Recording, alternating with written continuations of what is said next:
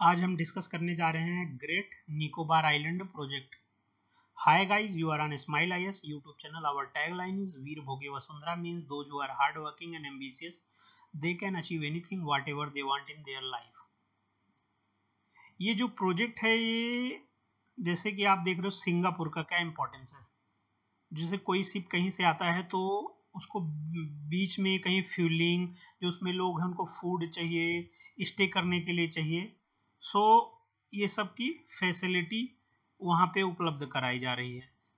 ये सब चीज़ें जैसे सिंगापुर हो गया या हांगकांग हो गया, उसी के तर्ज पे इस इस प्रोजेक्ट को किया जाएगा ओके यहाँ पे भी ये ट्रांसशिपमेंट के लिए होगा, और भी कई चीज़ होगा हम उसको अभी डिस्कस करते हैं। ये आप देख लो, ये प्रोजेक्ट एक्चुअली है कहाँ पे? ये जो हमारा लास्ट आइलैंड है ओके निकोबार का, उस पे इसको प्लान किया गया है ओके यहीं पे लास्ट में इंदिरा पॉइंट भी है। ये आपको याद होना चाहिए नाम गालाथिया नेशनल पार्क। और यहाँ पे Campbell Bay national park biosphere reserve on isolated island okay? Okay और यहाँ पे आप देख सकते हो ये मलाका स्ट्रेट है। इसी के रास्ते कोई भी यहाँ पे आएगा इंडियन ओशन और यहाँ से होके ही जाएगा। सो so, और आप मैप में इसको देखें। ये लिटिल निकोबार है, ओके। इसी के जस्ट नीचे ये है, ओके। लगभग इन एरियो में ही, इन एरिया में ही इसको किया गया हो, अप्लाई करने के लिए प्रोजेक्ट का, जिसका कॉस्ट अराउंड है सेवेंटी फाइव थाउज़ेंड करोड़ के। ये बढ़ भी सकता है, जैसे आने वाले समय, जैसे महँगाई बढ़ेगा तो उस हिसाब से इसको कॉस्ट और इसमें कई बड़ी कंपनियों ने अपना इंटरेस्ट ज़ाहिर किया है कि हम इसको करेंगे प्रोजेक्ट और इसका कंप्लीट होने का जो टाइम है 2028 टू 29 के करीब है। और ये बढ़ भी सकता है ओके और इस, यहीं पे ही इंदिरा पॉइंट है ओके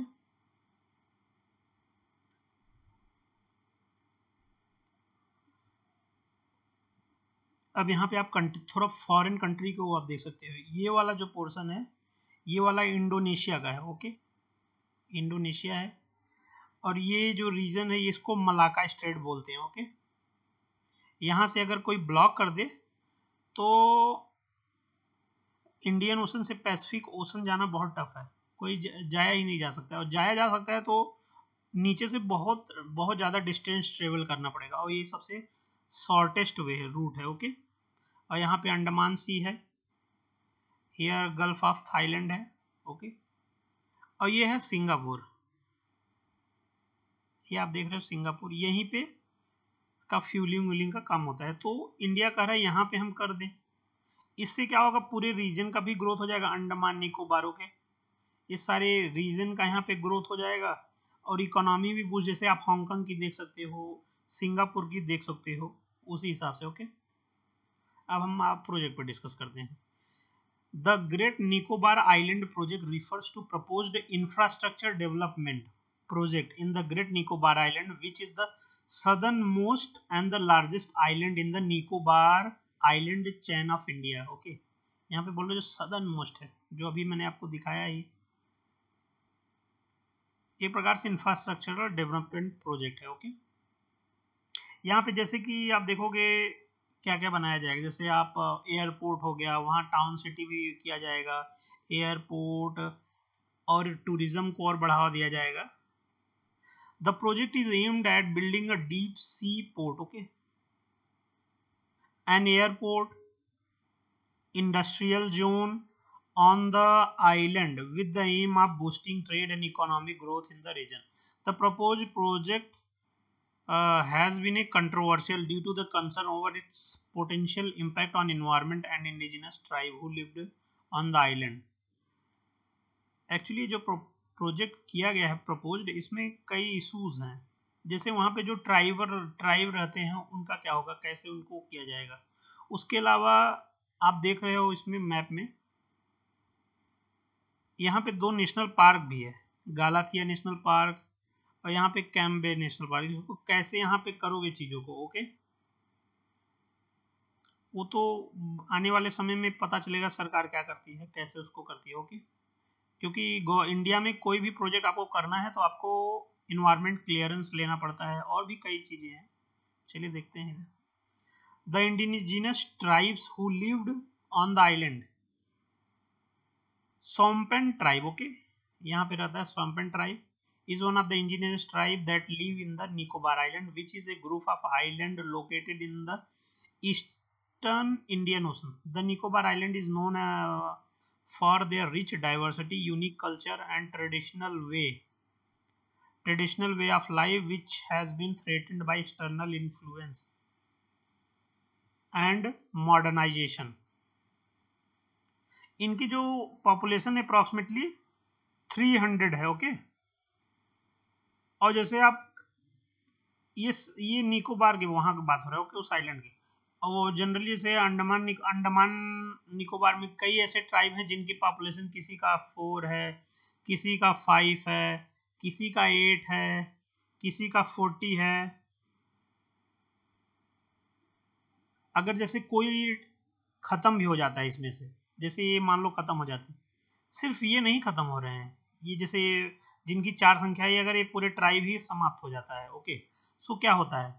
इनका लैंग्वेज खत्म हो जाता है, इनका कल्चर खत्म हो जाता है। वहाँ पे कैसे रहते थे चीज़ों के बारे में जानने मतलब बहुत एक बहुत कुछ खत्म हो जाता है। इसलिए गवर्नमेंट इनको एफर्ट भी कर रहा है कि बचाने के लिए।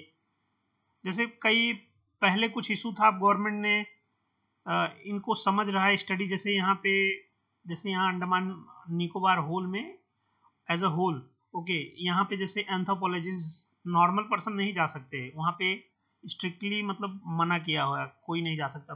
जो भी जा सकते हैं गवर्नमेंट से परमिशन लेके, वो भी जैसे एंथोपोलॉजिस्ट जो उन पे स्टडी करेंगे, समझेंगे उनको कैसे बढ़ाया जाए, उनकी चीज़ों को, क्योंकि ये लोग बात ही नहीं करते।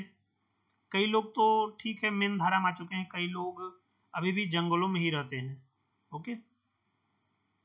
उनसे कोई कांटेक्ट भी नहीं है सो यहाँ पे और ये जो ट्राइब है इनको क्या बोला गया है पर्टिकुलर वर्नल वर्नले vulnerable tribal group okay particularly vulnerable tribal group is a classify classification used by government of India to identify and recognize the most marginalized and vulnerable tribal communities in the country. PVTZs are defined as those communities that have the small population, क्या यहाँ पे कैसे small population low level of literacy and are relatively isolated जैसे जंगलों में रहते हैं आप। जैसे वो जंगलों में रहते हैं मेन स्ट्रीम सोसाइटी से अपना फ्रॉम मेन मेनली वो जंगलों में ही रहते हैं okay the P V T G are recognise by the government under the constitution schedule tribe category and are provided with the special protection and support under the various government program and scheme, okay?